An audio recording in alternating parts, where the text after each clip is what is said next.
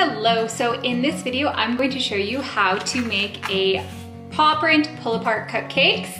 It's actually quite easy to do and pull apart cupcakes are great because it has the look of a cake, but it's a lot easier than making a full cake. And you don't have to worry about cutting it up if you're having other people. They can just grab their cupcake and eat it. So each paw print requires seven cupcakes and then I just used buttercream icing white and black and then Oreos for the paw prints, but you can definitely do whatever color that you wanna do. I designed this after my own cat's paw prints, which he's a black and white cat, but you could do brown, orange, any colors, gray, whatever color that you wanna do.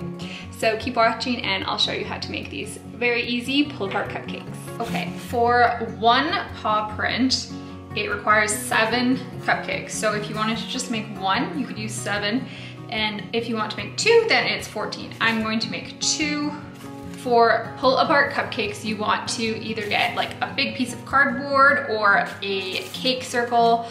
What I want to do is I want to have two cake circles with each paw print on them. So you could do that, or you could use like a big piece of cardboard. You basically need something to put the pull apart cupcakes on. I like using the cake circles because sometimes I like to decorate the circle or put writing or something on it. So I like these and these that I'm using are just white 12 inch cake circles. This size was too small. So I'm using the 12 inch for each one.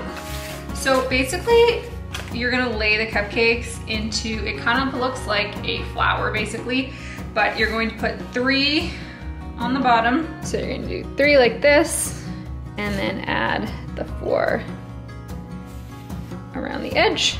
So it basically just looks like a flower. So I'm gonna start by laying the cupcakes out and once you put the icing on them, you don't really wanna move them around. So make sure they are on the cake circle or piece of cardboard where you want them.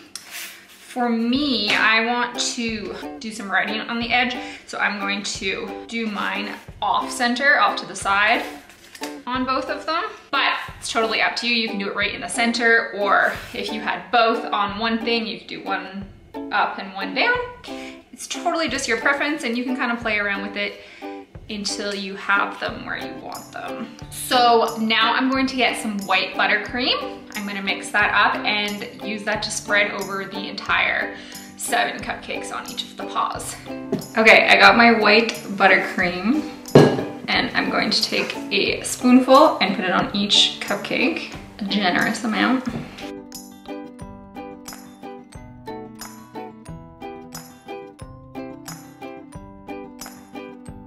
And then I'm going to use this offset spatula to spread it around.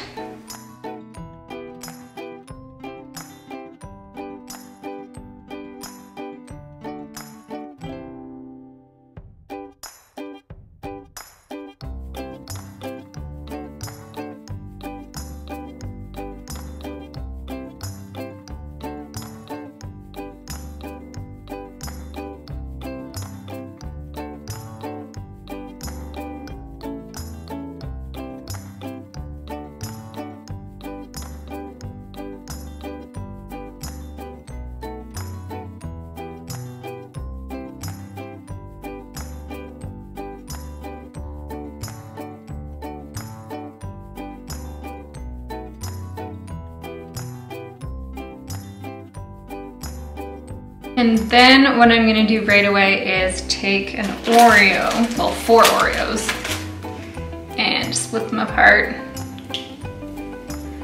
So I just have the top and put that in while the icing is, before the icing is hard.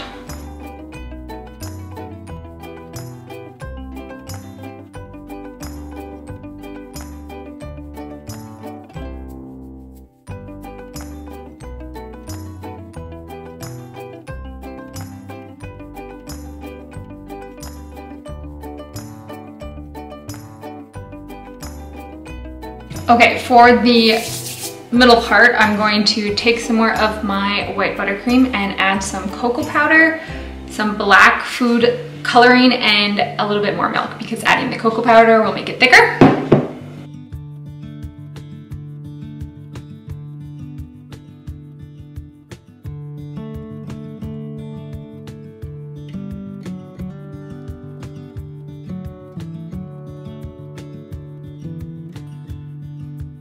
Okay, now I'm going to put this icing into a piping bag with just an open round tip. This is Wilton, Wilton 2A.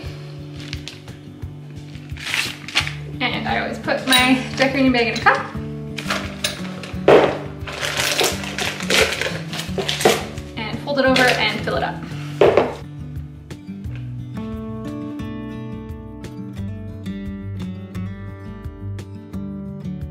And then I'm gonna go around, do the outline, and then fill it in, and then use my spatula again to smooth it all out.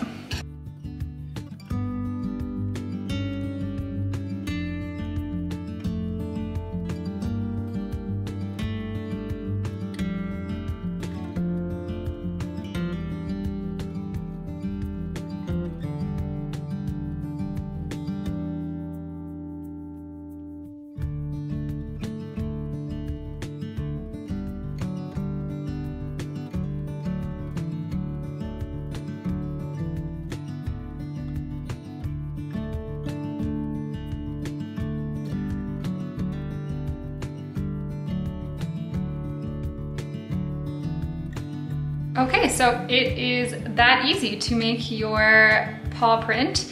You could use this for a cat or a dog. Mine is for my cat. But the last thing I'm gonna do is use some melting chocolate and write some words to add to the white space. Okay, so I'm just gonna use my melted candy melts, cut a tiny hole, and then on a piece of parchment paper, write out what I want to put on it. And then I just pop the candy melts in the fridge for a few minutes to harden.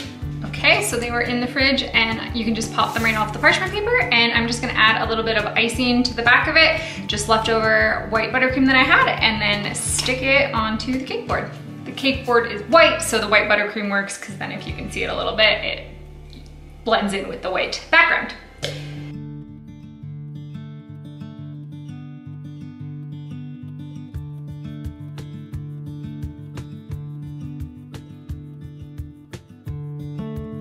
Okay, so that is all you need to do to make some pull apart paw print cupcakes. They are great because it kind of has the look of a cake, but it's a lot easier. And you can just grab a cupcake when you want to eat one. So thank you so much for watching. I put up baking videos on Wednesdays and you can like this video. Let me know if you have any questions.